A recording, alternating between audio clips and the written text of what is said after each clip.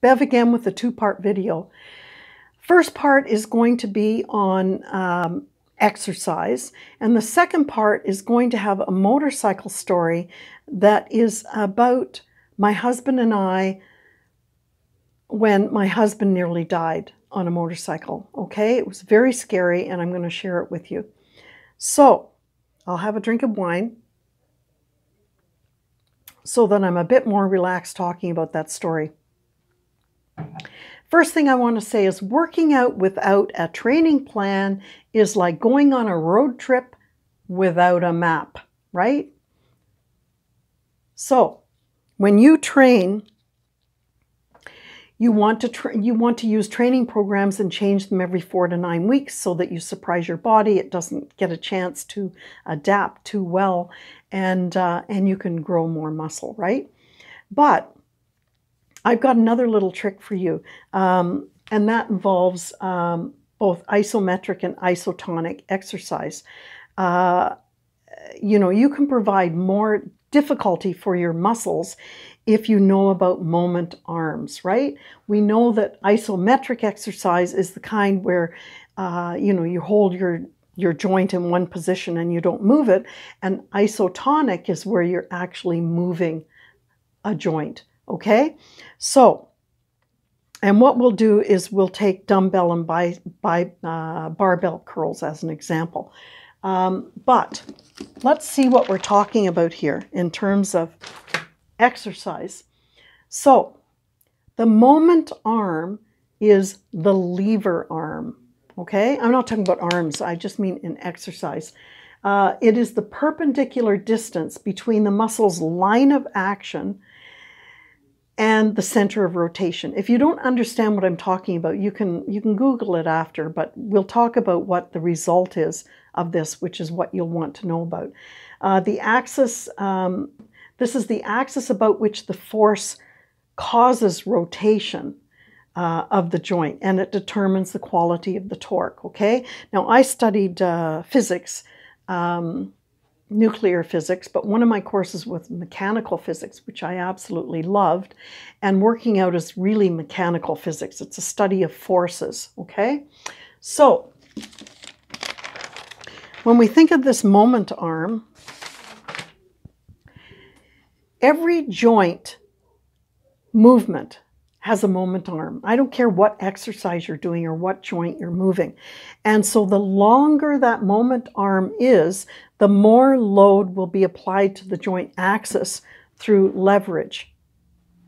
So it means that your muscle is going to work harder when we're talking about this isometric, okay? I'm not saying not to do isotonic. I'm just explaining the difference between the two.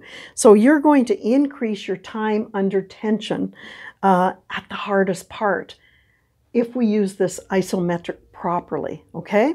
So if, if I was to do, uh, let me just see. Let's talk about a curl, okay? I don't care if it's barbell or dumbbell. So you have your elbow joint, right? And sometimes your arm is, is hanging down. Your hands are down here. And then you move the hands up and the weights are up here, right? So they're down at the bottom or you're moving them up and down. Now, the moment arm at the bottom is nothing, right? It's easy at the bottom, right? They're just hanging there. And at the top, right? You could hold them up at the top for a lot longer, right? Than in the middle. As you travel through here, how hard that exercise is changes. As you move up, the hardest it is, is right here. When your arms are parallel to the floor, this is the hardest this exercise will be, and that is the longest the moment arm is. Okay, when we talk about leverage. Um, so, if you, as you come up past this, okay, it gets harder hardest, harder, easy. So if you if you pass through the hardest, that's fine. Most of us do, right? When we're doing bicep curls. But if you stop at the hardest and count to three, right? One, two, three, up, stop again, one, two, three, down.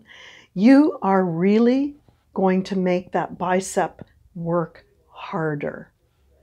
And another way to do it is to stop a third of the way up and and then stop two thirds the way up. And that will increase the um, strength at these points about uh, 3 to 5% on either side of those stopping points. You know, whether you stop here, here, here you can do different things, okay? So, uh, it's true about bench press as well. If you're sitting on a bench press, uh, you know, stop halfway and then go all the way up, stop halfway, come all the way down. You're going to work a hell of a lot harder, all right, with your muscles. Um, now, I want to say the story about Dave. Okay. In 2016, we were on a motorcycle trip and we were headed to we were actually headed to New Mexico. So in this particular case, it's this green one. And it was in uh, 2016. So we came down, you know, and actually the funny thing is he got a new tire in Texarkana. Uh, we headed down, we were at Galveston, whatever, we were coming along here. And we were near San Angelo in kind of the southwest uh, part of Texas. This is a picture of him with the bike. Anyway, we were we were traveling to New Mexico because I wanted to go to Roswell, New Mexico, right? Um, and it it started off in the morning. It was quite nice. We were in the hills, gorgeous, and um, and then it started to rain, and it, it got worse. Now, when you're on a motorcycle, you know you don't stop in the rain because well, you could be there forever, right? In a rain pocket. You just keep on going, right? When you're traveling on a motorcycle distance, you're ready for cold weather, hot weather, rainy weather, whatever. So we just pulled over to the side of the road and we put on our rain gear. And Dave's pants um, were these uh, rubberized pants. I, I had a different pair, but he had these rubberized pants. So he was on a Honda Goldwing, which, if you know anything about motorcycles, I mean, it's a thousand pounds. It's a huge bike, right? Uh, and he has a lot of experience. He's 300,000 kilometers on bikes, right? I have 400,000. And I'm traveling, I always travel behind him on, um, on my Harley. So he's ahead of me by, I don't know, 30 feet. And anyway, it's really, really heavy rain. So uh, there's a truck behind us. And, you know, I'm always checking behind me. There's no cars in the passing lane, but there's a truck behind us. Now, it is a highway, so it's a four laner um, but it's not an interstate, so it hasn't been built to the same specifications. So the wheel wells have sunk down in the heat, right? We know in Texas there's high heat. So the wheel wells have sunk down, but there's tons of rain, so they're full of water. Now, what you do on a motorcycle, normally you're in the wheel wells, right? But, or where the wheels normally are. But because of the rain, you travel up in the middle, so you're not caught in that. But I think what happened to Dave, um, well, let me tell you what, first of all, what, what I saw. I'm traveling behind him. I looked down. I don't know what I looked down for. I looked down for something and I looked up. Oh my God. He was completely perpendicular to me. And I thought, Jesus. So I pulled out. I knew nobody was in the passing lane. I didn't want to run over him. And fortunately, this uh, truck behind us pulled out as well to not run over him. And when I passed, I looked to the right, and he and the motorcycle were traveling down the road together, side by side, at 100 kilometers an hour. That's how fast we were going when this accident happened. We were going, weren't going that fast. I don't know what that is, about 65 miles an hour. Anyway, I it was heavy rain, so I just gra- I took my, you know, I I just gradually came to a stop there wasn't much side to the road, so I got off as well as I could. And I thought, oh my God, Dave's going to be dead. I mean, I have to tell you, uh, it was the scariest thing ever.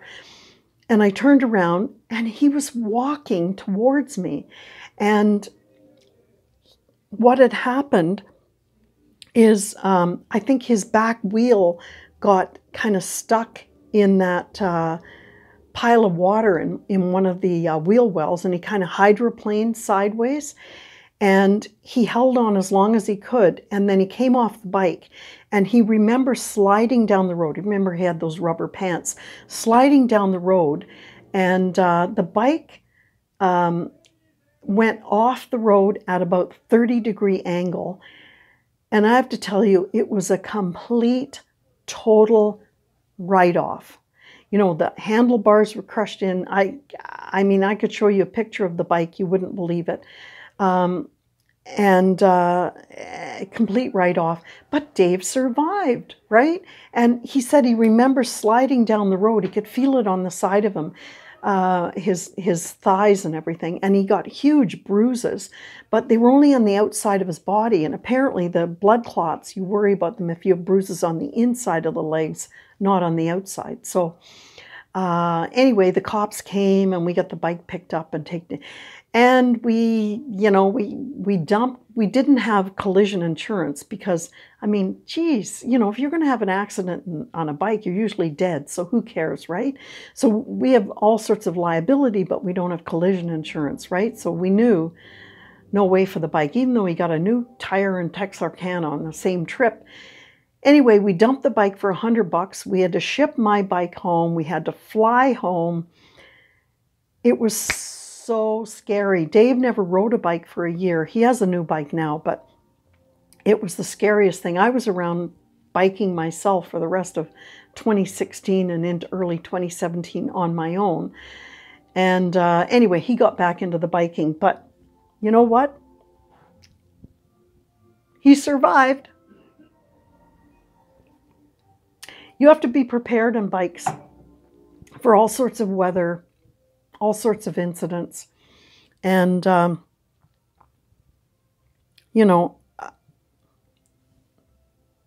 he survived. Anyway, talk to you in the next video. Bye for now.